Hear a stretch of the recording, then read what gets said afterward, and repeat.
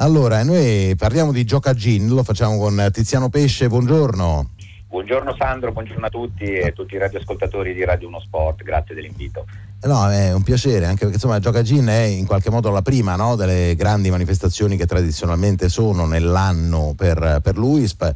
E, tra l'altro c'è quest'anno questa dedica che continua e continuerà a esserci anche per pubblicità e quant'altro a Gianni Rodari perché insomma personaggio di, di, grandissimo spessore, anche perché da molto si è dedicato ai più giovani, no? e, al di là delle sue fiabe, del suo modo di, di porsi e del suo scrivere, anche proprio come figura umana. E Gianni Rodari, come dire, sarà già da Gioca Gin una figura che accompagna no? vostro, le vostre attività.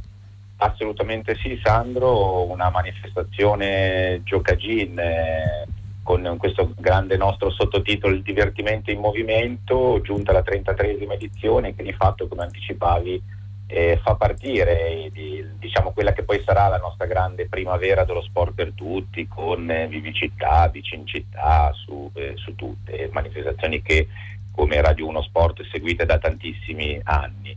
Eh, Giocagine nasce ovviamente come rassegna dedicata alle ginnastiche in tutte le forme, quindi dalla ginnastica artistica, acrobatica, ritmica, acrogym e quant'altro. Negli anni si apre, diventa una rassegna multidisciplinare e saranno veramente tante le discipline che a partire dal prossimo fine settimana vedremo in tanti palazzetti fino ad arrivare a giugno. Saranno oltre 50 i palazzetti dello sport in tutta Italia, dal nord al sud, ad essere coinvolti, quindi oltre alle ginnastiche anche pattinaggio, discipline orientali, danze, ballo, tantissime coreografie. Una manifestazione che mette insieme tutte le età della vita, quindi avremo partecipanti dai bambini ai meno giovani e una manifestazione come tutti gli anni che mette insieme ovviamente i valori dello sport praticato, i valori dello sport per tutti con la solidarietà e quest'anno, come dicevi giustamente, una dedica per noi veramente speciale. Eh, di fatto sarà un anno eh, ovviamente che coincide con il centenario della nascita di, dell'indimenticabile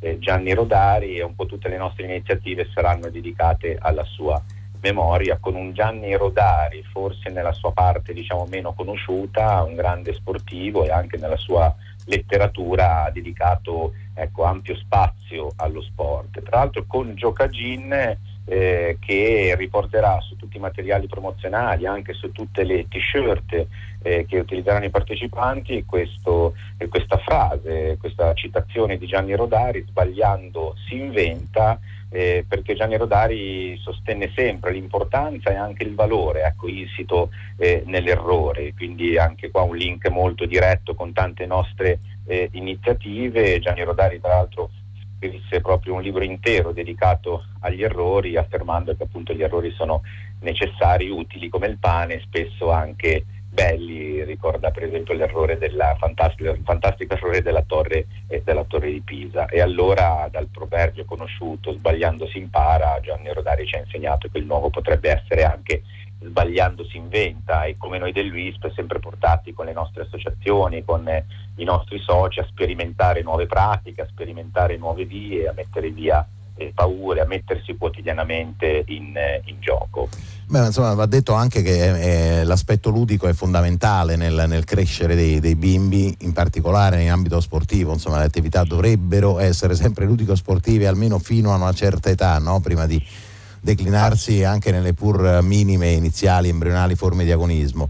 Assolutamente no? Sandro, infatti Giocagin è proprio una manifestazione assolutamente ludica, assolutamente giocosa, non competitiva, aperta a tutti e quindi ecco ci sembrava veramente doveroso aprire la stagione delle grandi iniziative con questa dedica particolare ancora una volta a Gianni Rodari che ci ha insegnato appunto il, il gioco, il sogno proprio dedicato all'immaginario dei, eh, dei bambini. Sì, anche perché lui tra l'altro va, non, non, si ricorda quasi mai, no? lui è scrittore, giornalista, poeta, eh, però anche pedagogo e lo era con tutti i titoli del caso. Assolutamente, insomma. assolutamente. Tra l'altro diciamo che noi come WISP, eh, oltre a ricordare la, la sua grande figura, diciamo, abbiamo un po' di, un po di debiti ecco, nei, suoi, nei, suoi, confronti perché la nostra associazione ha incontrato Rodari in molte occasioni eh, negli anni diciamo, che insieme a lui ha smontato e rimontato, potremmo dire così, meccanismi dello sport, eh, esattamente come ha fatto lui appunto nella sua veste di pedagogista con,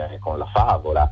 Di fatto lui genera eh, una grammatica ecco, della fantasia che poi per, per l'UISP, oggi Unione Italiana Sport per Tutti, ma già allora Unione Italiana Sport Popolare, è diventata potremmo dire una nuova grammatica dello sport, soprattutto del corpo, della pratica sportiva intesa come diciamo, movimento, quella che poi oggi chiamiamo sport sociale, sport per tutti, sport di cittadinanza. Poi io da genovese da Ligure sono particolarmente legato a Gianni Rodari perché eh, Gianni Rodari partecipò di fatto ai, momenti, diciamo, ai primi momenti di vita dell'associazione anche sul territorio ligure perché nel 1950, solo due anni dopo ecco, la costituzione dell'UISP, eh, lui eh, già giornalista, dirigente dell'API, l'Associazione Pionieri d'Italia, partecipò eh, vicino a Genova, eh, sull'altopiano della Madonnetta, nel comune di eh, Cogoleto, all'esperienza del campeggio internazionale della gioventù, pensa come sai organizzato eh, da Rigo Diodati, sì. il partigiano Franco, unico sopravvissuto nel marzo del 1945 alla, strage, alla strage nazifascista di Gravasco, nell'immediato entroterra genovese.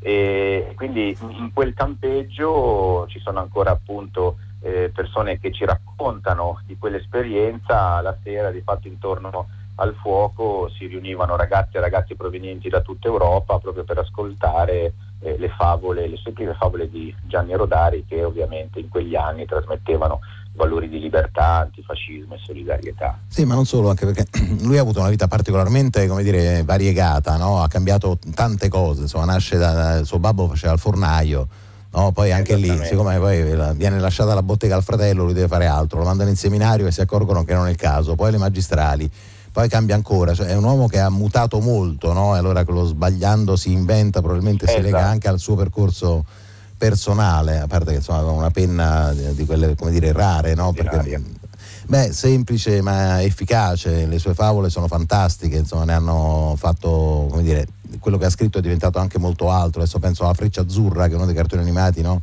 più certo. essenziali, certo. che nasce da quel, da quel racconto così particolare legato a un'Italia che oggi non è più, o meglio, non era più fino a qualche tempo fa, magari potrebbe tornare. Ecco, insomma, il senso profondo di tutto questo del vostro lavoro e del Giocagin, che tra l'altro ricordo saranno 14, giusto, le città in Italia? 14 le città coinvolte nel prossimo fine settimana, di fatto si apre una lunga stagione eh, che ci porterà fino al mese di giugno a, a, coinvolgere oltre 50 palazzetti in tutta Italia.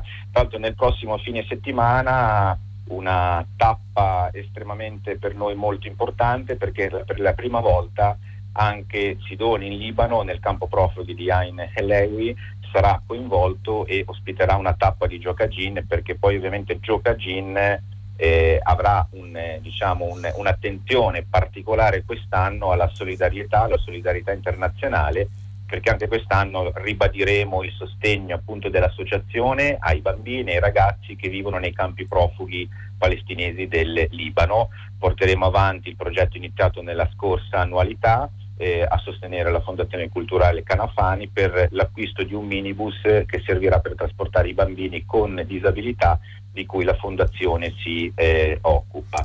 Quello è il campo tra l'altro profughi più popolato e problematico del, del paese, ospita circa 60.000 rifugiati palestinesi registrati a cui negli ultimi anni a seguito delle, della situazione siriana si sono aggiunte ecco, moltissime famiglie siriane, oggi è un campo profughi che ospita oltre 120.000 eh, abitanti e quindi va avanti ovviamente il rapporto fra l'UISP e la Fondazione Canafani che attraverso appunto la cooperazione internazionale si è sviluppata negli anni e al di là di questi diciamo, momenti importanti ma che poi diciamo, rappresentano un po' il simbolo dell'intervento va avanti anche soprattutto e ovviamente anche qua il link con Gianni Rodari è molto eh, diciamo, pertinente, tutta l'attività anche di formazione che viene svolta, viene tenuta dai nostri educatori WISP, dai nostri volontari che ogni anno partono da tanti nostri comitati territoriali e vanno a fare formazione proprio diretta agli operatori e alle operatrici dei campi profughi. Sì, poi l'altra cosa bella è che molte delle città dire, scelgono un tema, no? adesso stavo guardando per, per citare sì. soltanto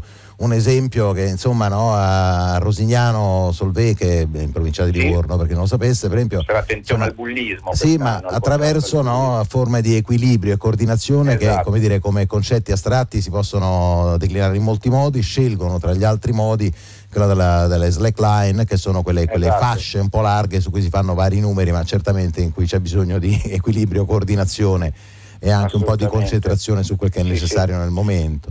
Sì, Sandro, diciamo prima, proprio ogni anno i nostri comitati sperimentano ecco, nuove, nuove pratiche e anche oltre diciamo, alle più tradizionali che citavo poc'anzi anche tante attività particolari, per esempio ricordo che a Grosseto saranno previste esibizioni per esempio di discipline orientali con la spada eh, antica, a Civitavecchia sempre nel prossimo fine settimana ci sarà un eh, flash mob che coinvolgerà quindi non solo i praticanti, gli atleti che si esibiranno sul piano palestra, ma anche tutti gli spettatori sul tema eh, dei diritti. Quindi ecco, veramente tante tante iniziative che faranno ancora una volta dello sport per tutti uno strumento importante di promozione di benessere, socialità e diritti. Insomma, eh, ricordiamoci che c'è come simbolo avete scelto una, una piccola foca che, Sì. che, insomma, che parte dalla- da, da un igloo improbabile per la foca, ma insomma Esatto, una, diciamo una piccola foca ginnasta ecco, che accompagnerà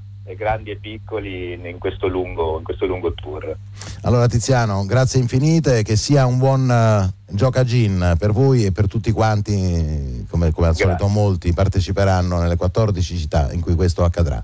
Ciao grazie, Tiziano, Sandro, grazie. grazie a tutti ancora una volta.